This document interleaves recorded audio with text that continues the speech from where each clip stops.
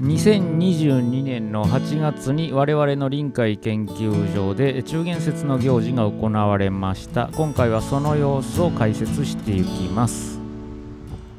まずはみんながお香を持ってお祈りをします。毎年お祈りは臨海研究所の主任事務のトップ。そして年長者で土地の公有儀式に詳しい水道電気管理のおじちゃん3人のリーダーシップで進められていきます。お祈りを済ませた後、おのおのがお香を祭壇にあるお香立てや供物に刺していきます。これらの供物は各研究室であれこれ買ってきたものです。私たちの研究室のメンバーも前日に買い出しに行って、たくさんお菓子やお茶を買ってきました。それらは祭壇に捧げられています。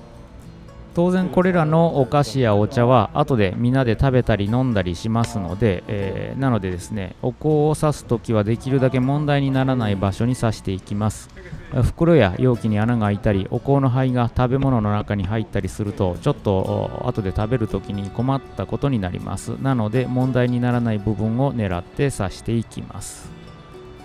台湾の中元節は道教に由来する年中行事で夏のこの時期に行われます。あの世とこの世をつなぐゲートが開くこの時期に全ての霊に食べ物や飲み物などを受け取ってもらいましょうという趣旨で執り行われます。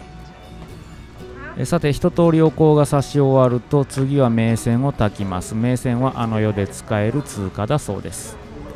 この時期になるとあちこちにありとあらゆる全ての霊がさまよっているということであれば当然我々の研究に用いたいろんな生き物の霊もさまよっているだろうとこう考えられるわけです。ならばこの中元節の機会に、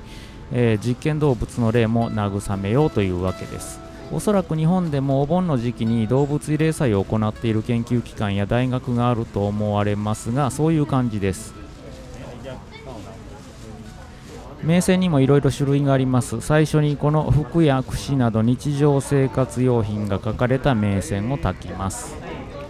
毎年のことですがこの日常品が書かれた名線について、えー、尋ねると現地スタッフは丁寧に説明してくれます。这些东西，烧给他们，哎，先哎可以梳子啊，哎先换换个衣服啊，然后来来来吃这些食物，对啊，就是就是来沐浴啊，然后对对。さまよっている霊たちの中には日常生活品に困っている霊もいるかもしれません。なのでそれらの霊に、えー、日常生活品を先に配る感じです。通貨というよりは商品引換券に近い感じかもしれません。ちなみにこちらの臨海研究所の主任はカリフォルニア大学の博士課程を卒業されてカリフォルニア工科大学でポスドクを経験された方です。ちょっと聞いてみたところカルテクではこういう動物慰霊祭はやっていないということでした。私がポスドク時代に席を置いていたオックスフォード大学の動物学研究室でもこういう動物慰霊祭はやっていませんでした。なのでこういった動物慰霊祭は東アジアの特有の行事なのかもしれません。えー、さて名線を炊いていきます。毎年このような金網で囲いを作ってその中で炊いていきます。火の粉が飛び散ると火災の原因にもなりかねないので安全には気を使いながら炊いていきます。そして次にこういう小さな金箔や銀箔を貼った名線を炊いていきます。これは先ほどの日常生活品が書かれた名線と違ってあの世で使う通貨になります。に混じって名線を炊いていきます。名線は中国語ではツーチェーンと言います。紙のお金と聞くとそれは1万円も、え、1000台湾ドルも紙でできてるんとちゃいますか？と不思議な気持ちになると同時に確かに紙幣の歴史は新しいなと改めて気づかされます。えさて、供物についてももう少し見ておきましょう。お酒の他にもイカの干物と鶏の姿蒸し、そして豚バラ肉の料理の真空パックされたものが置かれています。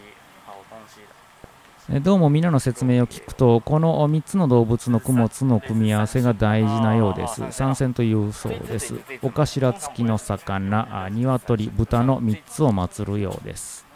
本当はイカの干物の代わりに魚の丸揚げを置くようなのです。でもそれだとさすがに長持ちせずに腐ってしまうので代わりに保存性の高いイカの干物で代用しているらしいです。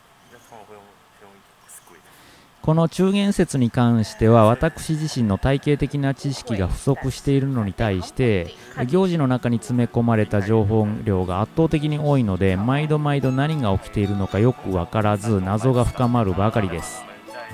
しかし自分なりにこうした行事の意義を考察してみました。おそらく中元節の年中行事はこの地域の人たちの伝統的な生命観や倫理観を理解し自分たちの研究活動との関係を再認識する機会になっているのだと思います。確かに地元の人たちの協力がないと研究が進められないので相互理解の良い機会になっていると言えます。あともっと現実的な効用として日頃あまり会うことがない他の研究メンバーとの交流を図る機会にもなっていると考えられます。はい皆さんの協力がありましてえー、この中元節無事終えることができました。またこうした地元の行事についても解説していきますので興味のある方は次の機会をお待ちください。それではまた。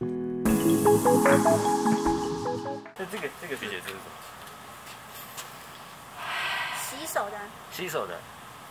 就是他们来吃东西要洗手，洗手，洗干净了之后再吃，再来享用。